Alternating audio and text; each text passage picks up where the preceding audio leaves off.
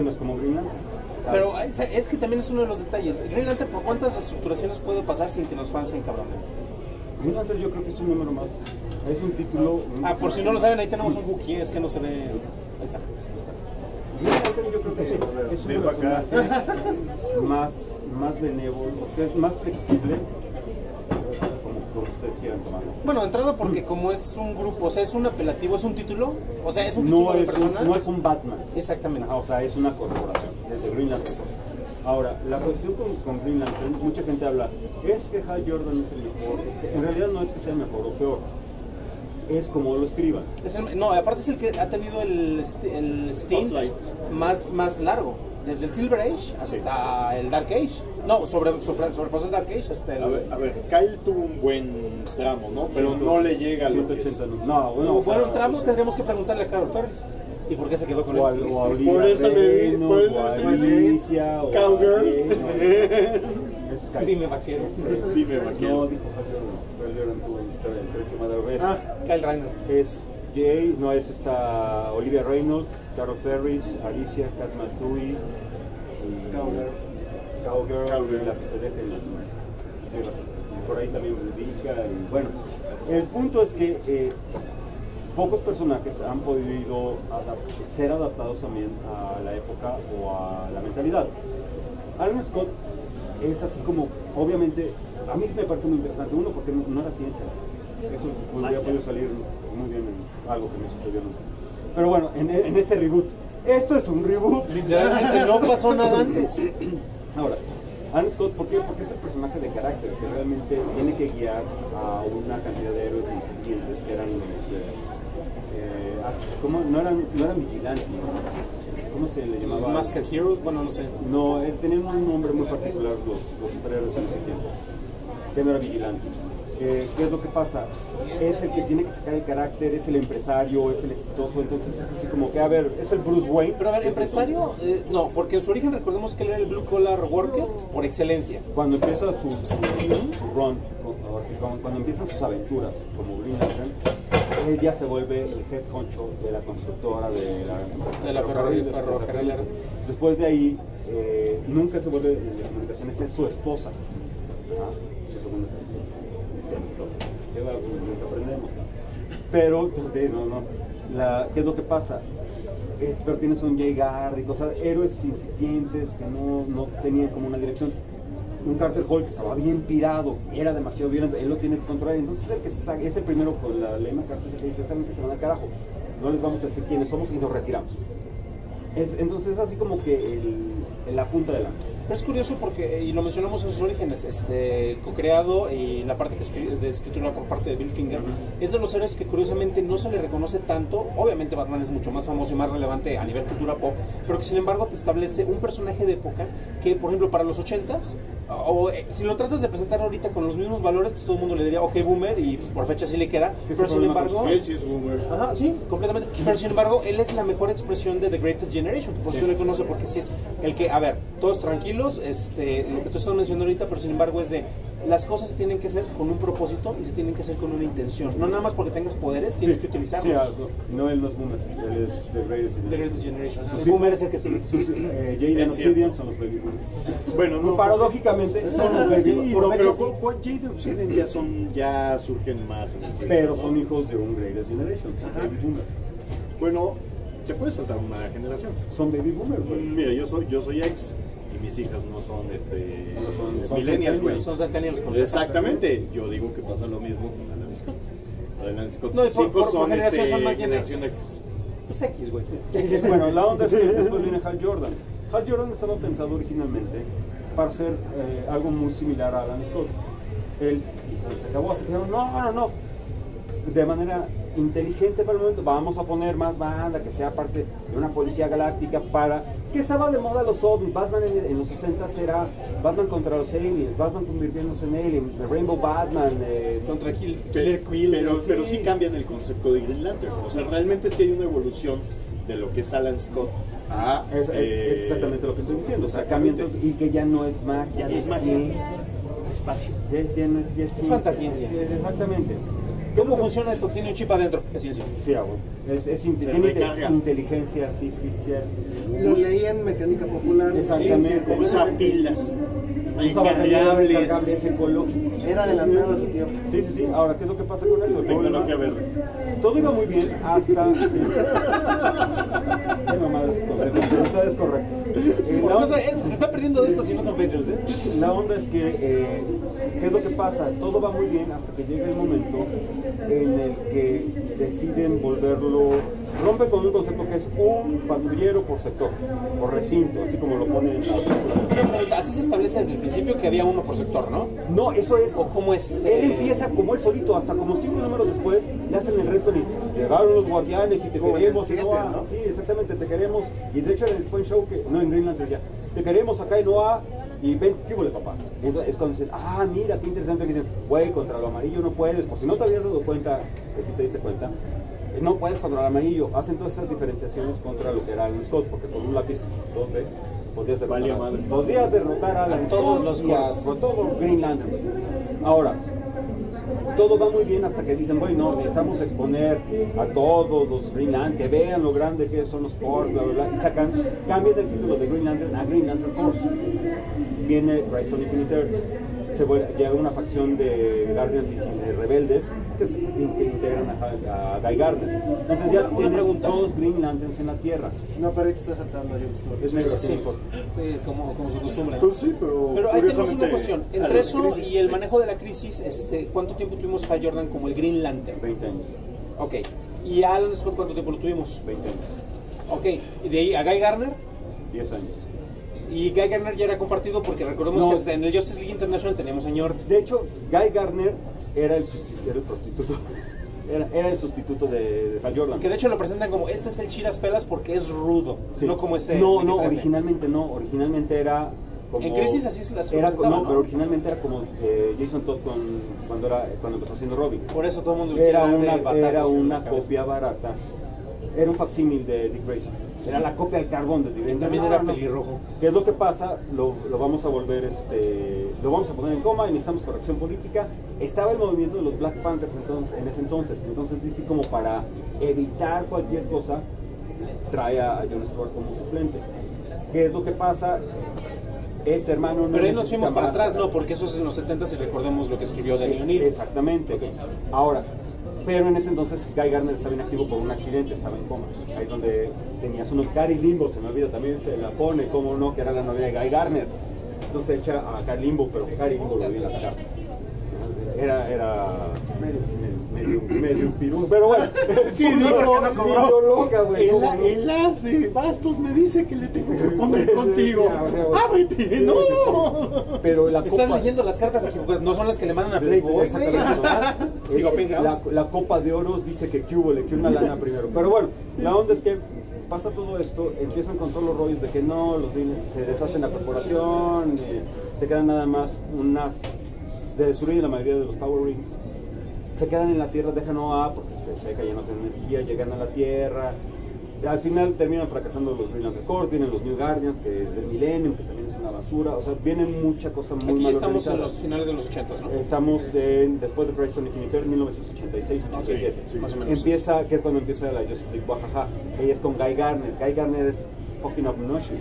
O sea, fucking obnoxious. No, Es- sirve, sirve para muchas cosas. Pregúntale a Batman y One Punch. One Punch. ¿no? Sí, es, es de We Love to Hate Him. Ajá. ¿Qué es lo que pasa después? Dicen, güey, hay que renovar todo esto. Ya esto no me sirve, llega Ron Mars, hace el pite. Vamos a volver a, a Green Lantern lo que era originalmente en 1930, en los 30. Uno solo, güey. O sea, Ron Mars es lo que dice. Todos hacen lo mismo, no importa que si el güey con, con cabeza de apio hace lo mismo que el perro, hace lo mismo que el cristal, hace lo El mismo que el gusano. Gato madre y gato para los dos, güey. Pero la onda es que quítenme este, güey. Destruyen, eh, viene Parallax, que es lo más interesante. Ron Mars recibe cantidad de. Hace su disassemble, es decir, eh, haciendo un símil, ¿no? Antes de eso. Ah, sí, él- hace un disassemble de original. Para ponerlo así, es el disassemble original. Entonces, ¿qué es lo que pasa? Eh, llega Kal Reiner, que realmente es, como lo dice Jeff Jones en, el River Desk, el único Green Lantern que realmente conoce el miedo. Sabes para por eso lo, por eso cambiaron hicieron el retcon de qué es lo que se necesita para ser Green Lantern necesitas ser fearless no necesitas overcome fear que es muy diferente Y por eso es una excelente contraposición en el caso, porque es la antítesis, pero bien planteada. O sea, así como Venom era en su momento el antítesis de Spider-Man, o sea, que era básicamente Spider-Man, pero rudo, porque no era antítesis, aquí es de que este güey tiene las mismas debilidades, pero las conoce, las acepta y puede lidiar con ellas. Ha conocido desde el- su primera aventura, tuvo la mayor pérdida. O sea, recordemos que hasta se generó un. Girlfriend of the un- Fridge. Exactamente, el Freeze surge precisamente a raíz de eso, que después podrá ser muy criticado, pero, pero en su momento sirvió, tuvo un propósito. Fue choqueante. Y no fue Exactamente, no fue gratuito, exactamente. No, es para desarrollar el personaje. y aparte le generas curiosamente le generas un villano que no es de él lo- te lo apropias lo vuelves tu nemesis ¿A la fuerza?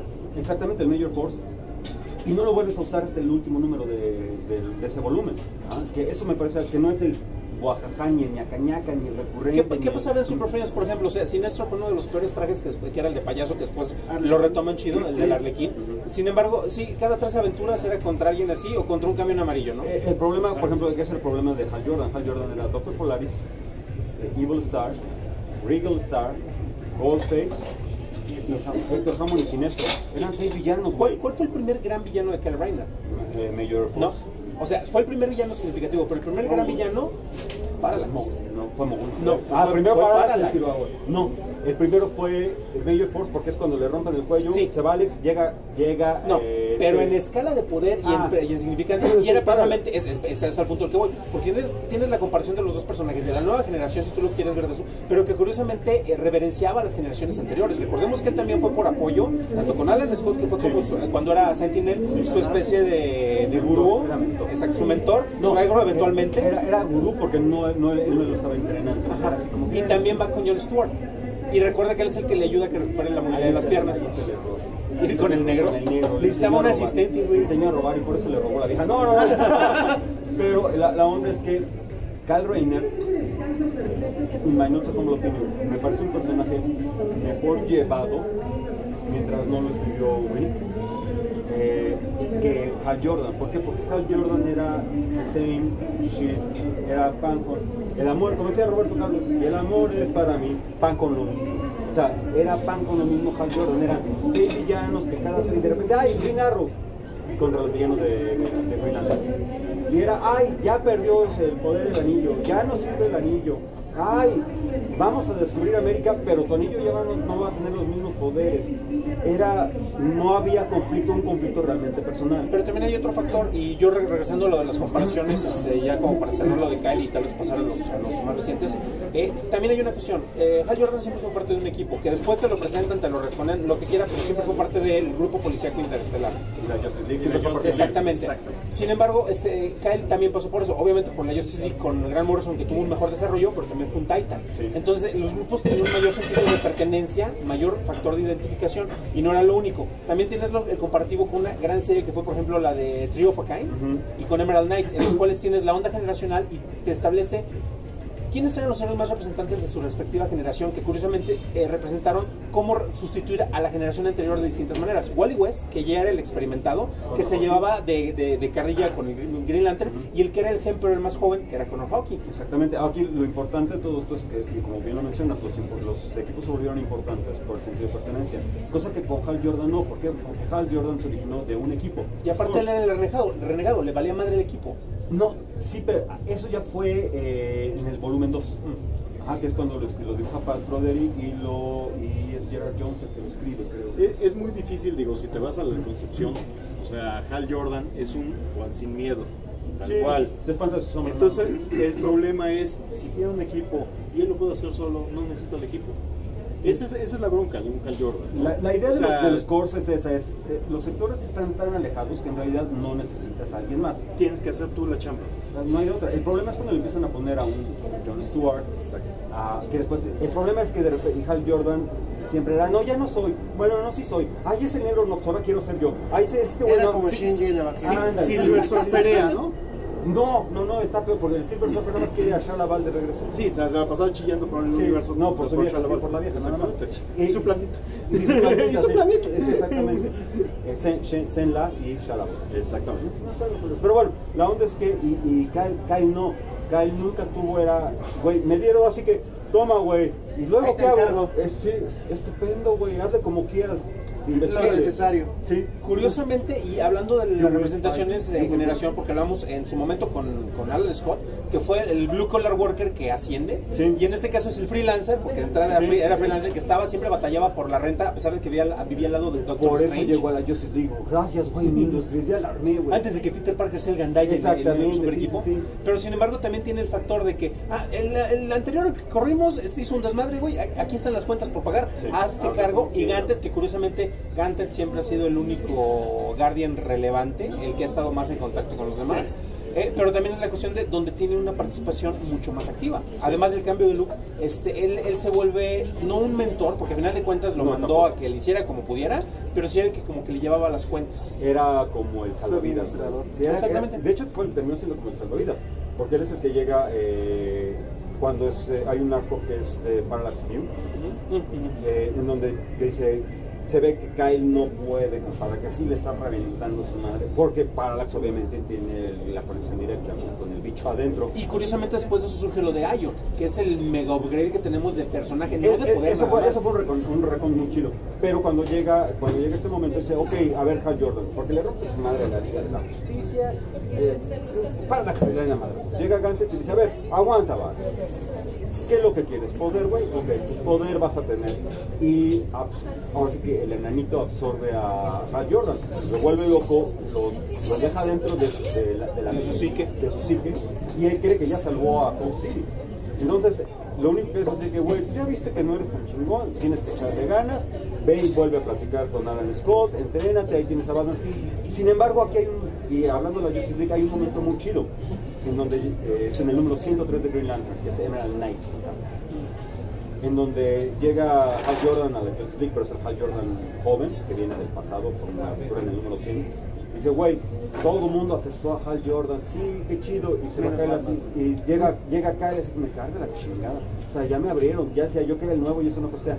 Llega Batman en la noche a su cuarto y le dijo, ¿qué hubo, papá? Ay, le dice, oh, me Le enseñó la- el murciélago. Exacto, Ahí te ¿cómo va el sabes coronavirus. dónde vivo? Ah, porque eres Batman, ah, ok. Y le dice, güey, es que, ¿por qué te fuiste, güey? Todavía no terminábamos de hablar. Dice, no, pues es que aceptaron a Hal Jordan, te voy a explicar una cosa, a tus enemigos, a tus amigos en los cerca, a tus enemigos más cerca. Yo no confío en Hal Jordan, por eso lo tenemos ahí. Dice, y perdón, pero por lo que a mí respecta y a la liga, tú eres el Green Lantern de esta liga. En el momento en que Batman lo valida, lo eleva, no nada más en la Justice League. En el momento que Batman te dice yo confío en ti, es mentira. Ah, no mames. Yo nunca dije Y es- arma su expediente de Torre de Babel. es- el güey es muy. Se la cree todo. Qué duro, güey. So fucking no, pero aquí hay una cosa muy importante. Obviamente tú como Sigue siendo inseguro. este pobre imbécil nos va a llevar a la muerte. No, pero, pero la cosa, la- aquí hay una cosa muy importante, Carmen, y precisamente con referencia a esto que tú mencionas. No es que Batman confíe en él, o sea, porque Batman no confía ni en él. Él le hace creer y con eso le eleva la autoestima. Es de que, güey, si Batman confía en mí, eso significa que estoy haciendo el trabajo bien. Lo importante es que no nada más fue en el run de Green Lantern. ¿Fue en Justice League? Fue en, en donde apareciera Carl Reiner. Carl Reiner en ese momento hizo el upgrade. Cosa que Hal Jordan nunca pudo hacer hasta Rebirth. En Rebirth es su momento, realmente sí funciona el título como tal, sí funciona Rebirth para Hal Jordan. Ojo, Y estamos hablando del Rebirth, no del Rebirth De la mini. De la miniserie. Sí, de eh, seis números números de Jeff Jones. Que curiosamente, y creo que con esto terminamos porque ya se nos está acabando el tiempo y tenemos que grabar un programa. Este, curiosamente, eso también es de los pocos momentos en los cuales, y fue escrito por Jones, te entiende que es un equipo con personalidades diferentes y los poderes deben de reflejarte las Y personalidades. eso lo hace el Redneck de Van Cyber, lo hace. Impresionante. Y entonces, por eso, a mí no es que es, si te vas a cuestión de que cuál es el Green Lantern, generacionalmente hablando, con el que deberías identificarte, pues a mí me tocaría Hal Jordan, güey. Sin embargo, honestamente, por toda la evolución como persona, que me tocó ver la evolución de los dos, Es que no creo que te haya tocado desde el principio de Hal Jordan. pues tenía back issues, güey. No, issues sigues teniendo, issues güey. No sé si de espalda, pero bueno. Y de repente, Ni güey, tengo collarbone, o sea, todo, todo, fucking issues. No, pero a lo, a lo que me refiero es que sí, sí me tocó ver cómo, cómo no evolucionó Hal Jordan, porque era la fórmula perfecta. Es el Dare, Daredevil no por el personaje, sino por Es el el término. Superman, de cierta manera. Es un Superman ya estancado en Fearless. Exactamente. Es el- la diferencia es, I'm fucking fearless, es I can overcome you. Que curiosamente es de, lo, es, de, es de lo que mencionamos cuando nos hablan de personajes femeninos, perdón que retoque ese tema, como la Capitana Marvel, en la cual si te hago un personaje demasiado perfecto no tienes para dónde ir. Lo que, lo que es más interesante, exactamente, lo más interesante es el desarrollo. Con Superman hay mucho para dónde ir. Obviamente no hay malos personajes, hay malos manejos. Exacto, ese es el problema. Por eso yo considero, no es que diga yo que Hal Jordan es una basura de personaje, sino simplemente me parece un personaje mejor, mejor escrito, más redondeado cuestiones de personalidad, con, con una generación de balance. Y aparte el güey se echa, se refina a Donna Troy, se echa a Jade, güey, que o sea, el güey no andaba perdido, ¿eh? Y hasta Wonder Woman dice, ¿qué hubo, papá? Le echa dos, tres ojitos de repente Wonder Woman, güey. Pero O sea, mira, perdido no a- aquí andaba. el chiste es qué es lo más padre, verlo como Kors o como verlo como un solo héroe. como héroe solo, como héroe solo. Eso es la importancia de, de, de- de Kyle. Kyle era yo solo. Y curiosamente, las Entonces- series y todo esto parece que va más hacia el concepto de policíaco, ¿no? Que Según yo son de Green- pocas. de Green Lantern. Sí, no, según yo son pocas las series que en realidad se enfocan. O, sí ha habido series que, ¿Y la que- que para van, a la, que van a la par. eh, entre que es el manejo policíaco y es el del personaje. Nunca ha habido un- que el título principal sea únicamente el de la corporación, no. No. Siempre han estado a la par. Este, eh, y ya nada más, ahora sí para cerrar, porque ya se nos está acabando el tiempo y la, y la pila y el espacio. Es que estamos en 4K. Este, eh, yo creo que si va. estamos. Estamos más bien. Ahí hay un timer, no. Sí, sí, sí. Porque tengo un déjà vu. Yo creo que sería, y a nivel producción, recordemos que en televisión las series más fáciles de producir son las de hospitales, las de abogados y las de policía. Yo creo que va por eso Yo creo que ¿va? también va por los policías.